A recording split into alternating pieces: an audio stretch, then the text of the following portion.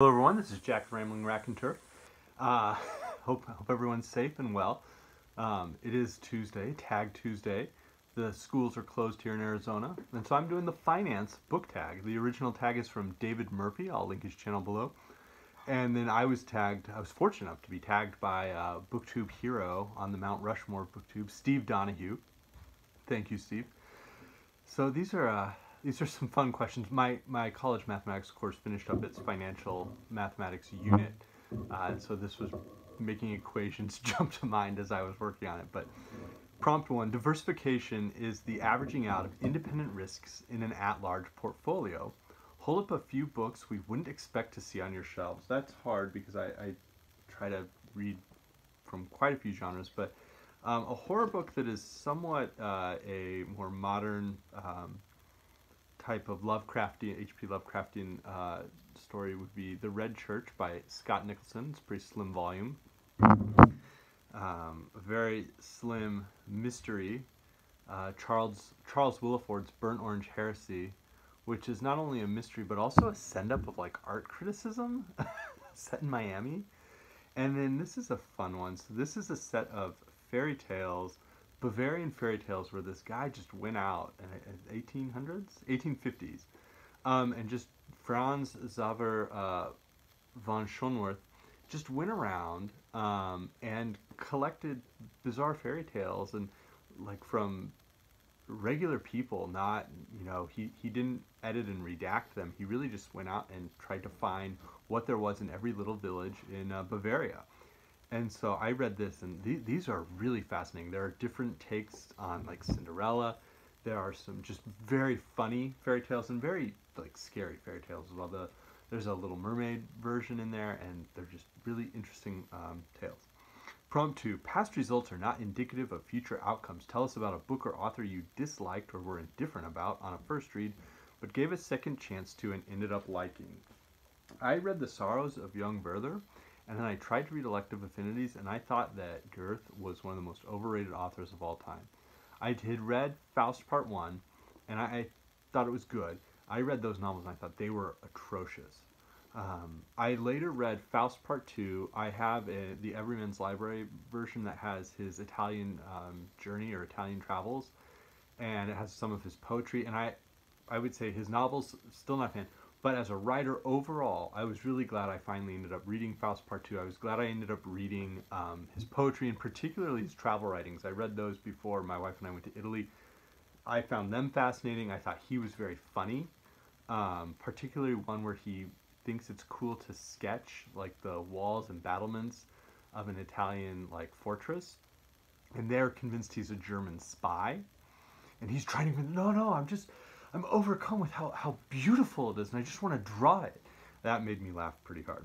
Prompt three, the effect of earning interest on interest is known as compound interest. And again, that equation, like that exponential function flashed through my mind. Uh, name a book that has aged remarkably well or a book that gets better each time you reread it. Um, not so much a single volume, but uh, the poems of Percy Shelley. Uh, this is a great romantics anthology that has Byron, Sheets, uh, Shelley, and Keats and I love uh, Shelley's poetry. I reread it at least every year. Um, I read from his poems uh, or even uh, the essay Defence of Poetry, and I, I just love it. He his his humanity, his sensibility, his passion, his fear. It, it, it's all out there on the page, and I, I just really enjoy his poetry. Um, prompt four. This is probably the longest prompt. A firm's current ratio is the ratio of current assets to current liabilities. So a ratio of 1 would mean that your current assets equal your current liabilities. If current assets are the books in your library that you have read and current liabilities are the books you have not read in your library, is your current ratio above, below, or equal to 1? So it would be above 1 if you've read more books in your library than you have not read. It would be equal if you've read exactly half of the books in your library, and it would be less than 1 if you've read fewer than half of the books in your library. Uh, mine's below 1. It's somewhere between 0.3 and 0.5. I didn't do an exact calculation, but I can estimate. Uh, when we move, I have to move this library. And thankfully, we haven't had to move for almost five years now. So I've added to the library. Prompt 5. Familiarity bias is the tendency of investors to favor investments in companies they are familiar with. What is a book you go back to out of familiarity? And it's not so much familiarity with this one, it is very much familiarity. I love The Big Sleep by Raymond Chandler, the beautiful Art Deco cover. I know the plot, I just love his writing. I, I love the way he describes people's behaviors, uh, the dialogue. It's just so fun. And then the other one is uh, Jorge Luis Borges collected fictions, his short stories. There are so many of them that I've read that I am just fascinated by, and I love to return to them. I love knowing the ending, being able to start at the beginning and, and reading through and seeing how he's toying and he creates his little labyrinths, his mazes. He has this, the, um, the Library of Babel is a fascinating one. Garden of Forking Paths is very famous.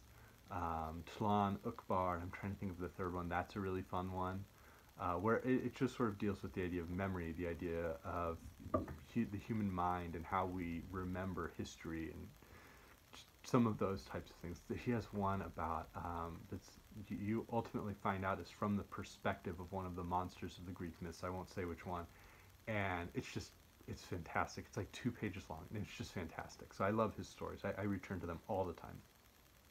Prompt six: Investors are always seeking alpha seeking a non-zero expected difference between a stock's uh, sorry, seeking a non-zero difference between a stock's expected return and its required return.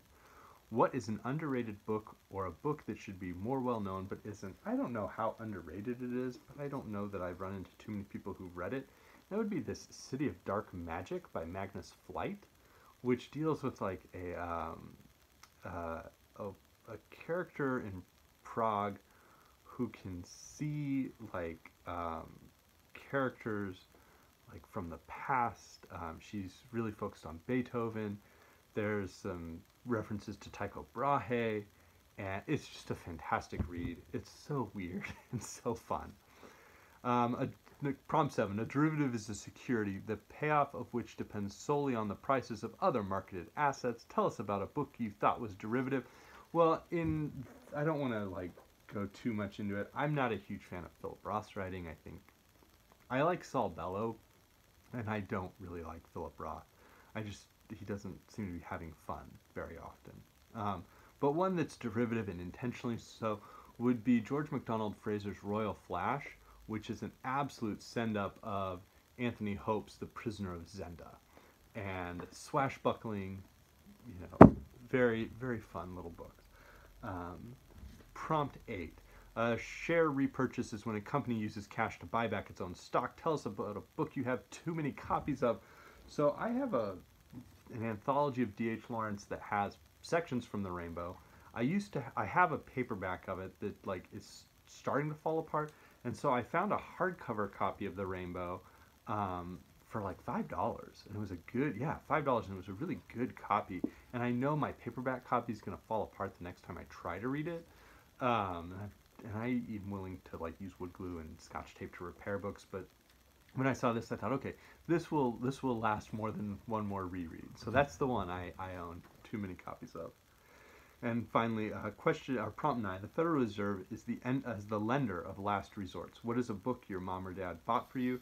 Um, when I was a freshman in college for Christmas, I had asked for a couple of books from my mother, and she ended up from that list, grabbing Umberto Eco's Name of the Rose and Petronius's Satyricon. So it was a very interesting uh, winter break of reading. Thank you, of course, Mom, if you happen to watch this. And then finally, prompt 10, tag. Uh, I don't know how busy he is with his move, but I'm guessing that if he bought a house recently, Noah, everyone who reads it must converse, might have, have you know some interest in finance. And then I was recently subscribed to by the Booklectic, who uh, is is all in on the Marsathon. So I'd love to hear her thoughts as well. I'll be back sometime this week, maybe tomorrow. Thanks, everyone.